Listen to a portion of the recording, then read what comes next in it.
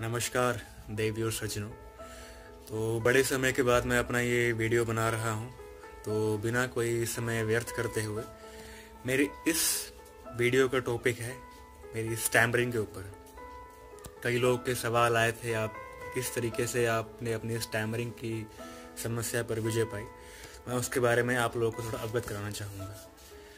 Obviously uh, मैं जिस तरह मैंने बताया था 2012 में Tessa the Indian stamping association के साथ मेरा जुड़ाव हुआ था उससे मुझे अपने आप को ग्रूम करने में इम्प्रूव करने में काफ़ी मदद मिली है। तो कुछ टेक्निक्स कुछ प्रैक्टिस मैं आपको यहाँ पे शेयर करना चाहूँगा। Uh, सबसे पहले दोस्तों नो मैटर वट आप लोग अभी किसी भी बात को लेकर अपना कॉन्फिडेंस लूज ना करें। आप किसी से बात कर रहे हैं ये सोच कर कि मैं इस शब्द पर, इस वर्ड पर, किसी भी सेंटेंस को बोलते हुए हकला जाऊँगा, इस बात से आप पहले ही डर लें। बात ही ना करें, अपनी बात ही ना रखें। ये बहुत ही गलत बात है।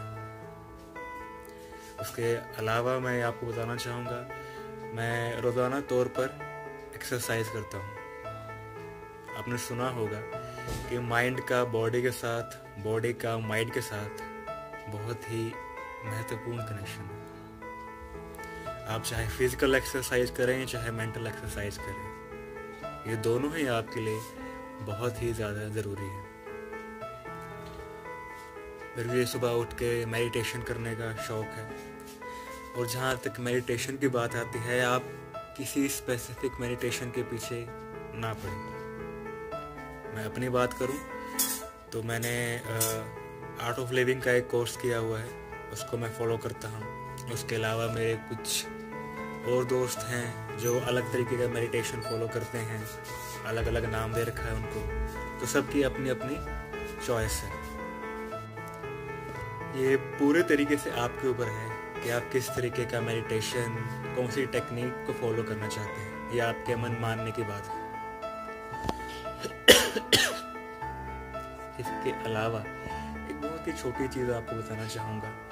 जो मैं काफ़ी सालों से प्रैक्टिस करने की कोशिश कर रहा हूँ, अमल में लाने की कोशिश कर रहा हूँ, काफ़ी हद तक लेकर आ पाया, काफ़ी हद तक अभी भी कोशिश ही कर रहा हूँ। तो एक बहुत ही महत्वपूर्ण चीज़ है चीज़ है कि आप किसी से भी बात करें तो उसकी आँखों में आँखें डालकर आई कांटेक्ट बनाकर। आज मैं कोशिश करता हूँ कि मैं जब भी किसी से चाहे इंटरव्यू में या फ्रेंड से किसी से भी बात करूँ तो अपना आई कॉन्टैक्ट मेंटेन करके रखूँ। आप अगर इस वीडियो में देखेंगे तो मैं बीच बीच में कभी यहाँ देखता हूँ, कभी वहाँ। कुछ आदतें हैं जो जल्दी नहीं जाती हैं। एक समय पर तो मैं किसी आँखों में कभी डाल, आँखें डाल कर बात कर ही नहीं पाता था। अब धीरे धीरे काफ़ी सुधार है। ये छोटी छोटी टेक्निक्स हैं जिन्हें मुझे इम्प्रूव करने में फ़ायदा मिला है। इसके अलावा एक सबसे इम्पोर्टेंट चीज़ जो मैं आपके साथ शेयर करना चाहूँगा, वो है learn to control your breath अपने श्वास पे नियंत्रण करना सीखें।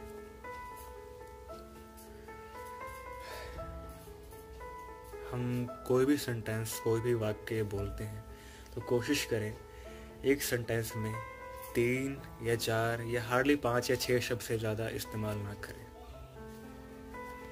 मैं यहाँ हूँ, मैं वहाँ जाने वाला हूँ, मैं ये काम करने वाला हूँ, इस बात को आप टुकड़ों में भी बोल सकते हैं या एक ही सांस में लगातार भी बोल सकते हैं।